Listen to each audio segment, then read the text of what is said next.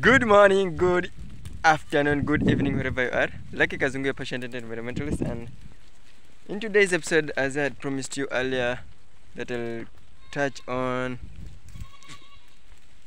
how uh, crossbreeding is very key, or is a very good uh, practice for your farm to improve productivity also change uh, breeds uh, to get quality breeds so i'm in the jungle currently with uh, some of my guys checking around to ensure they are good and also to get the meals that they need for their healthy so introducing to you the G- general white. I call him general white because uh, is one of the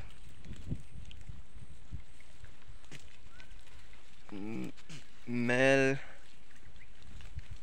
oh the, one of the fathers that is responsible for the twin bats in my farm?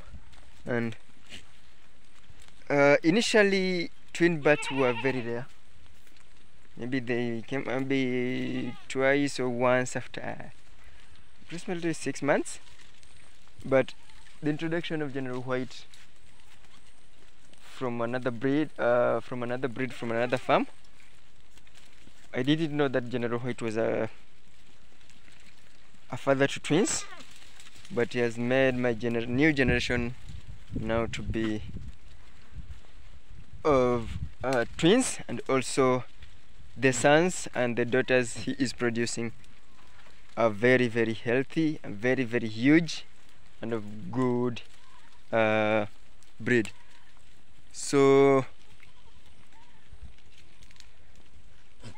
uh, for those who are doing good farming ensure you introduce new breeds from your, to your farm. Get them from uh, somewhere else.